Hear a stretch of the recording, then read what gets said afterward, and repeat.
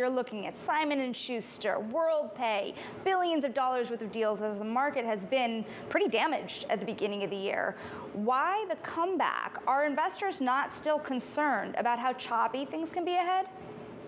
So overall, the market tone has improved significantly in recent months. First of all, if you look at the new issuance markets, that's improved a lot. We saw very little new junk bonds and leverage loans at the start of the year, and now we've seen a string of successful deals priced in the summer. In addition, recession fears are down. I mean, there could still be one, but it's looking more and more like that soft landing the Fed has been hoping for. And the other thing that investors are often most concerned about is just how much are rates going to keep rising. When we're not exactly sure the answer, they do seem to have stabilized, which overall has created a better market tone for debt deals. So that's the, the issuer and the investor perspective. What about the banks, though? Where does they, they come in here? Because didn't they just get burned?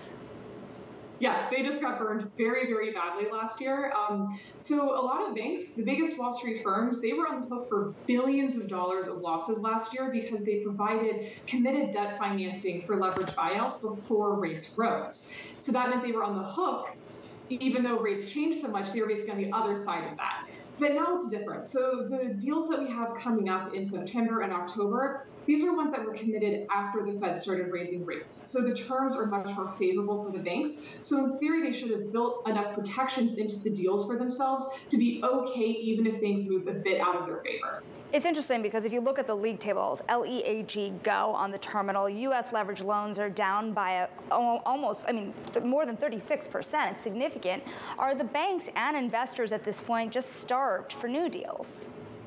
They absolutely are. I think a lot of people are looking to put money to work. Um, investors definitely are. You know, issuance just started to recover things got better and there's a lot of demand to buy this upcoming debt rush. Um, and for banks, like they make money by putting their balance sheet to work and making fees off those deals as they then sell that to institutional investors. And so they're very hungry to do more of those deals in the future. But now they're competing with private credit firms who are also offering very similar packages. And so every deal is kind of neck and neck between the two different parties.